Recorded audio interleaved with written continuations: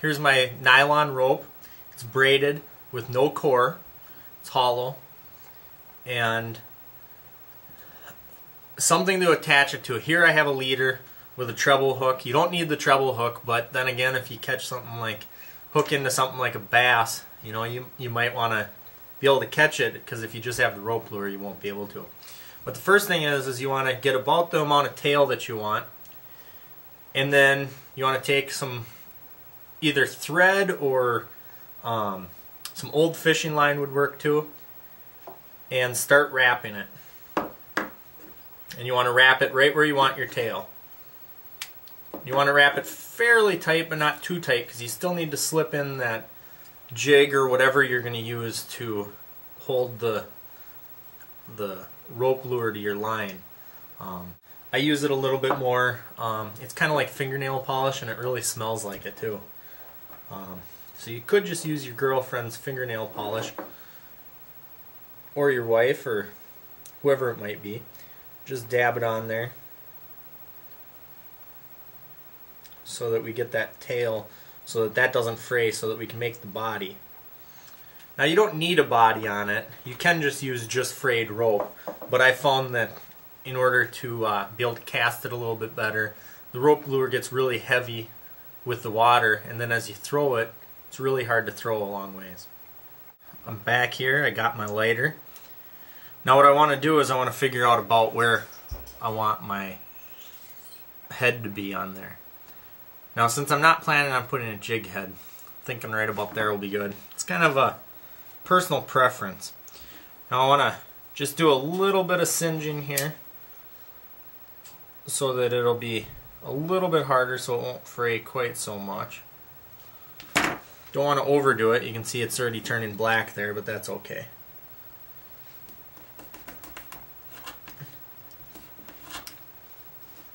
Now I'm not worried about my bench because that's what it's for, but if you're using your wife's kitchen table, you might not want to use a knife like that and maybe scissors or, or something else. Tin snips even would work real good. But now see, it's not a real good head. I'll get my scissors and I'll trim that up.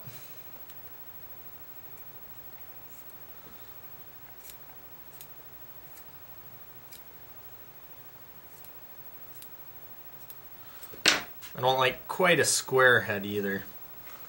But now what I'll do is I'll singe it a little bit more now that it's off. And I'll pat it down there. So now we have the basic, and that's the length of the rope lure.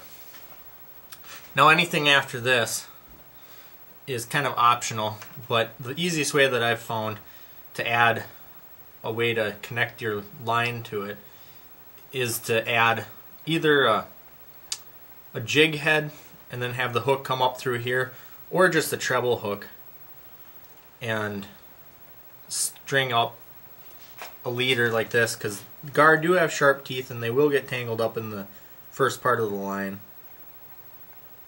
and then the hard part is getting this through and that's why you don't want to wrap it too tight like I did took a little bit more work than I was expecting it to.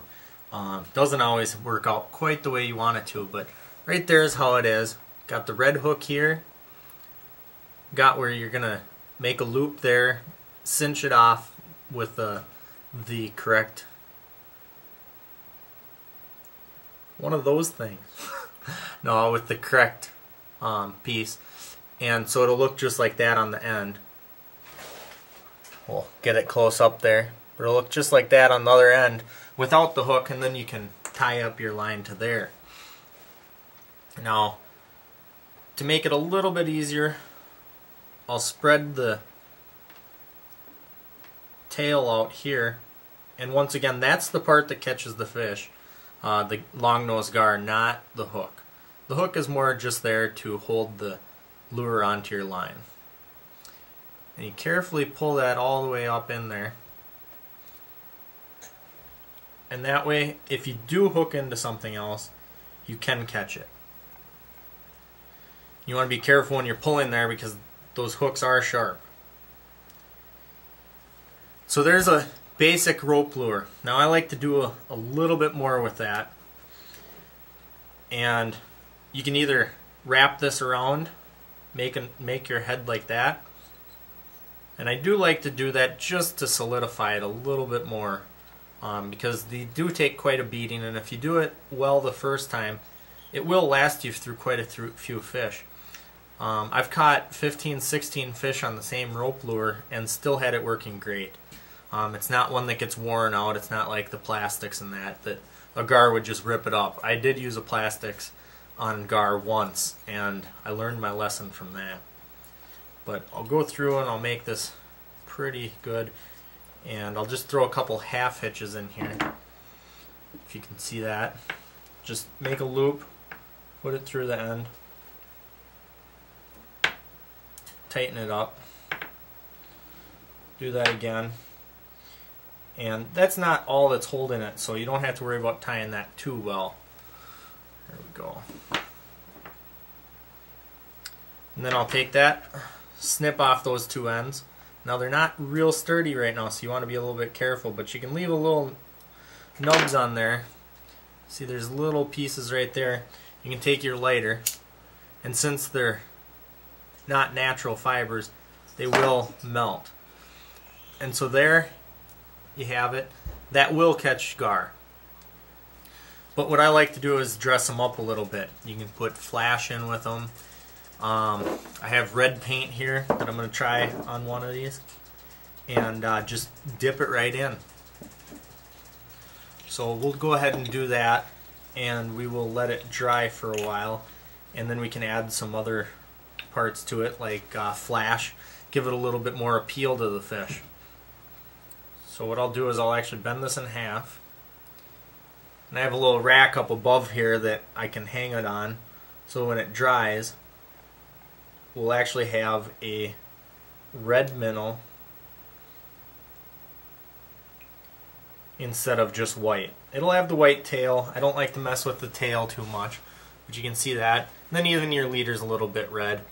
Um, and theory behind that is fish see red. I do have a little gar in my uh, fish tank, and he absolutely loves to go after the brightly colored fish first.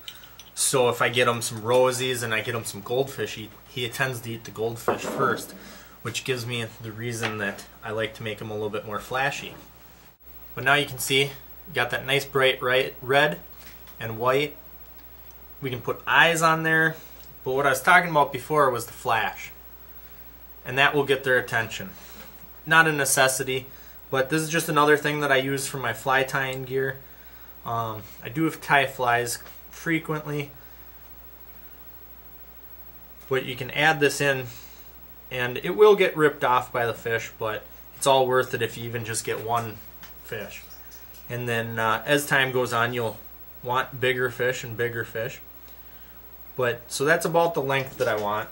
I actually want the flash a little bit longer, um, just for the attention factor. But I'll cut that right there. set that off to the side.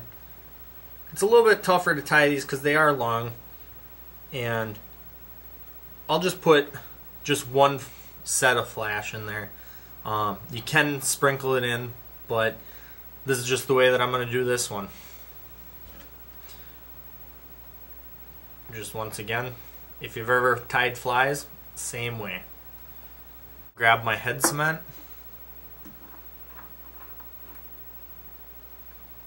The great thing about these lures for a beginner to be able to tie them is nothing has to be perfect. There can be hanging spots off. Um, you don't have to worry about exactly how it looks as long as you like it.